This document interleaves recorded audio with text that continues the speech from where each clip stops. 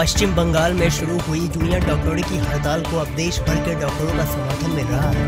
बंगाल में जूनियर डॉक्टरों के साथ हुई मारपीट की घटना से मेडिकल एसोसिएशन में गुस्सा है। पश्चिम बंगाल के डॉक्टरों का समर्थन करते हुए बिहार के पटना मेडिकल कॉलेज अस्पताल और नालंदा मेडिकल कॉलेज अस्पताल के जूनियर डॉक्टरों ने आज सुबह नौ बजे से पाँच बजे तक हड़ताल किया है, जिससे मरीजों को परेशानियों का सामना करना पड़ रहा है। डॉक्टरों ने ओपीडी और ओटी नए मरीजों का इलाज करना बंद कर दिया है। जूनियर डॉक्टरों का कहना है कि वह लाइसेंस प्रोटेस्ट करेंगे। जरा ये सुनते हैं कि नालंदा मेडिकल कॉलेज अस्पताल के अधीक्षक का इस बारे में क्या कहना है।